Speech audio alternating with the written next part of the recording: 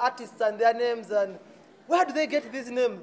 For example, you find very many artists who are called men.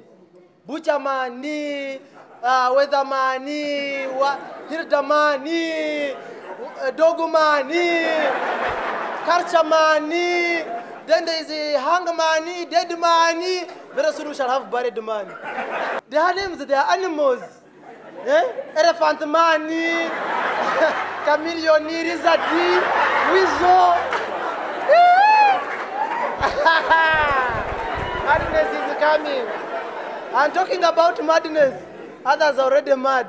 There's a mad tiger, Eh? mad icy, mad Mikey.